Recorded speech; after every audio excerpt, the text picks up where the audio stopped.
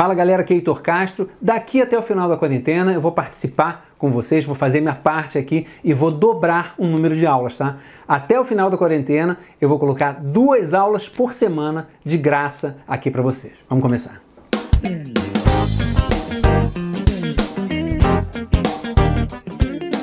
Fala galera, o foco da aula de hoje vai ser quais cordas que eu posso dedilhar. É o grupamento de cima? É o grupamento de baixo? Como que eu sei qual o grupamento de cordas que você vai tocar, tá? Antes, peço que você dê o seu like e se inscreva no canal, porque isso ajuda bastante. Então vamos atacar, gente. Essa é uma dúvida bem recorrente lá no heitorcastro.com e eu vou falar o seguinte, em todos os acordes básicos, acordes básicos, o que, que eu chamo de acordes básicos? Mi, Lá, Ré, Dó, Sol, Fá, tá? Todos esses pestana, até Fá sustenido, Sol, pode usar o Si bemol, tá? Si.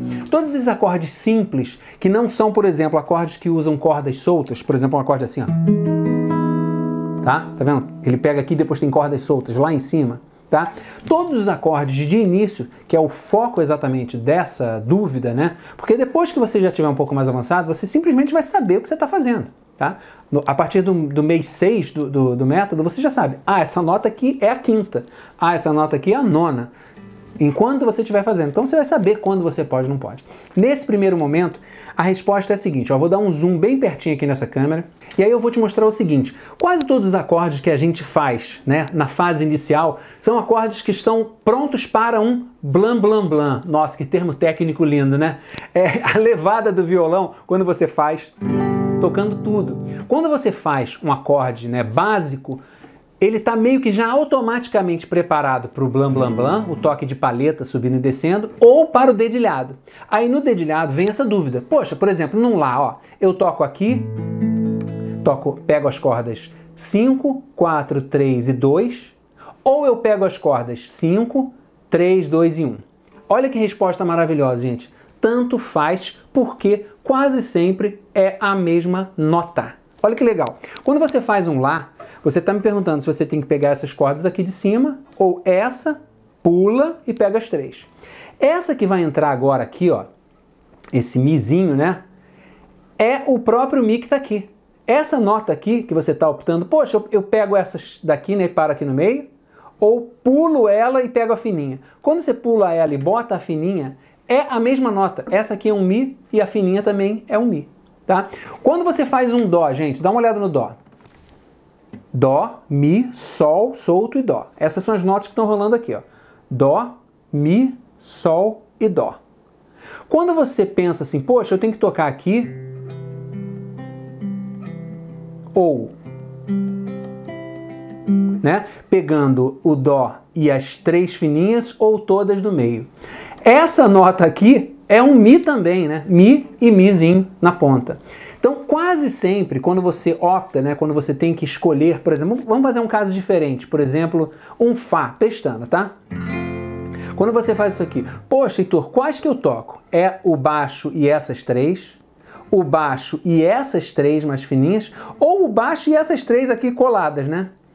Todas as três opções funcionam e tem o mesmo grupamento de notas. Quais são essas notas? Tônica, terça e quinta. São as notas que compõem uma tríade maior, né? Tudo isso é visto na parte de teoria lá no editorcast.com, tá? Mas agora, se você está aqui no curso grátis do YouTube, você vai ver assim, cara, posso escolher. As notas não mudam, só muda a oitava. Quando você faz isso aqui, ó, por exemplo, num Fá, e pega todas as graves, olha as notas que você está dando. Fá, Dó, Fá e Lá. Quando você opta por dedilhar assim, ó, pulando essa corda aqui, ó, tô pulando essa e tô tocando a partir daqui. Olha as notas que eu tenho, ó. Fá, Fá, Lá e Dó. Lembra que o Dó estava aqui? Dó e Dó. É a mesma nota, tá? Então, quase sempre, quando eu estou tratando de acordes básicos, pode pegar qualquer outro, tá? Por exemplo, Si. Ah, eu toco no meio, eu toco na ponta. Essa nota aqui vai ser igual a essa nota da ponta. Essa nota vai ser igual a essa daqui, tá? Isso aqui é o que, ó? Fá sustenido. E essa aqui, Fá sustenido. Tá? Então você pode escolher. Ah, eu quero dedilhar pelo meio ou pela ponta. Ó, tô fazendo assim. No meio ou.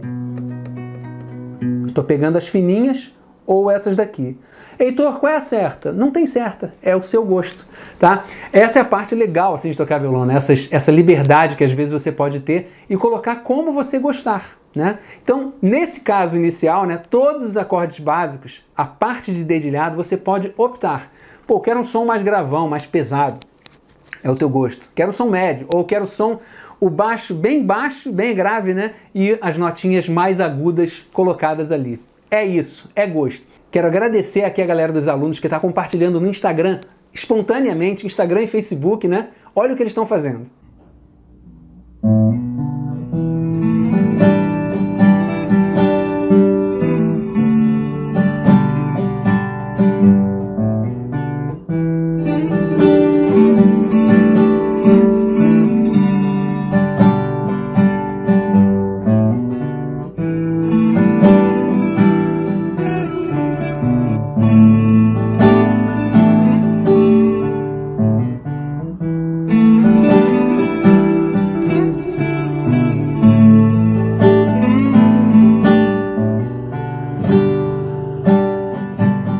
É muito legal ver esse tipo de interação dos alunos do heitorcastro.com. Gente, é isso. Até semana que vem.